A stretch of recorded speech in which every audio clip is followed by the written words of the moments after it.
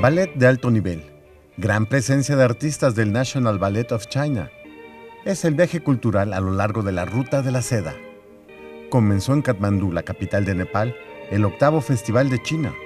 Fue inaugurado por la presidenta nepalí Vidya Devi Bandari, un festival que nació en 2003. Refleja la sinergia y el compromiso conjunto de ambos países para la cooperación y el intercambio de experiencias en salvaguarda, promoción y gestión de los patrimonios culturales. Nepal y China están vinculados entre sí, no solo a través de la geografía, sino también en aspectos culturales, históricos y comerciales.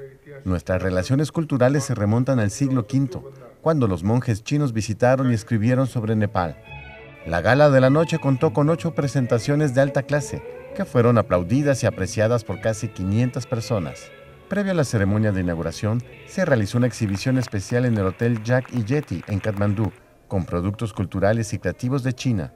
La exposición estuvo bajo dos secciones, tradición e innovación, e inteligencia y fabricación, con el objetivo de combinar la ubicación, las personas, el arte, el espíritu, la vida y la estética por medio de la cultura y el arte tradicionales chinos.